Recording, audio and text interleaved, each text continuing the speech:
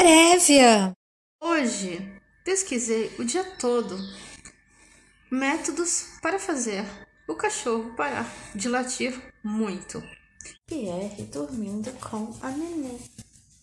Olha que coisa linda.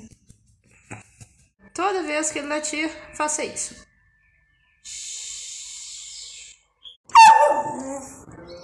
Deixa latindo. Ó, vou fazer, hein? Tempo abriu. Só falta o sol comparecer. As princesas ficam aqui comigo durante o dia para descansar na cama mesmo, né? Um pouquinho, um bocadinho durante a tarde. E de completo. Hoje pesquisei o dia todo métodos para fazer o cachorro parar de latir muito. Explico. A Britney está ficando lá durante o dia com minha mãe, hum? Pra, com aquele portãozinho para separá-las, como eu já mostrei em vídeos anteriores. Utilizei um deles, que a, a mulher disse: Não grite com o cachorro, chegue perto, toda vez que ele latir, faça isso.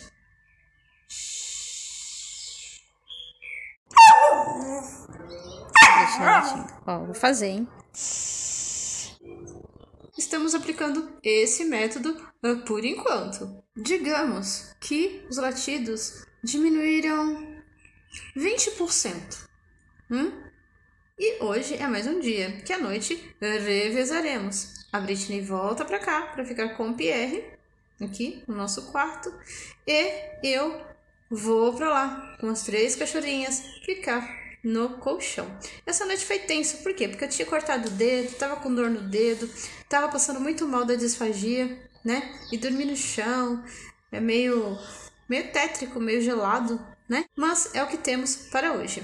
As princesas ficam aqui comigo durante o dia para descansar na cama mesmo, né? Um pouquinho, um bocadinho durante a tarde. Não, eu não fico o dia todo na cama.